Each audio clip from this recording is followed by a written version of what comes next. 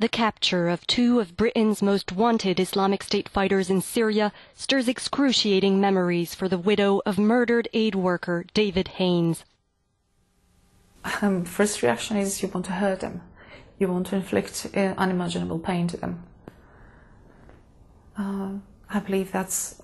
I know it's a horrible feeling, but on the other hand, I'm a human, and uh, they did something horrible to the person I loved. David Haines was beheaded by ISIL in 2014 after being held captive for a year and a half. Responsible for my execution. He was one of more than two dozen Western hostages whose execution was staged and filmed by a gang of four ISIL militants nicknamed the Beatles for their British accents. Of America against Islamic State. Alexander Kotey and El Shafee Elsheikh, who were captured by Syrian Kurdish fighters last month, were said to be the last two active members of the cell.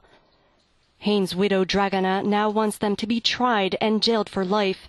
But first, she hopes they will reveal where her husband's body can be found. David deserves to be buried properly. We deserve to have a place where we can go and, you know, take flowers and remember him. And, um, and that's the only thing I hope they will be.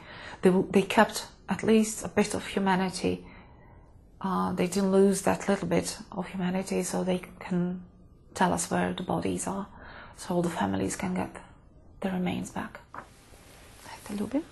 All Dragana wants now is closure for her and her daughter, who was just four years old when Haines was murdered.